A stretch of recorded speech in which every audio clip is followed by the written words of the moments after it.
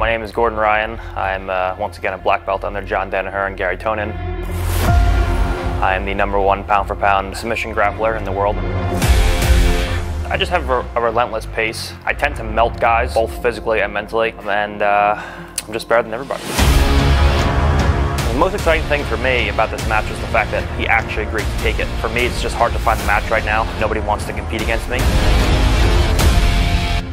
My name is Roberto Francisco Jimenez.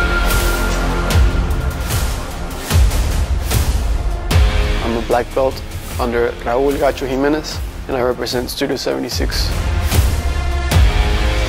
I'm going to be competing against Gordon Ryan. I've trained with Gordon. I've uh, seen him come up. I was excited. First, we were going to fight Nicky, and then Nicky got hurt. Gordon steps in. I'm excited to, to go in and fight the number one guy right now.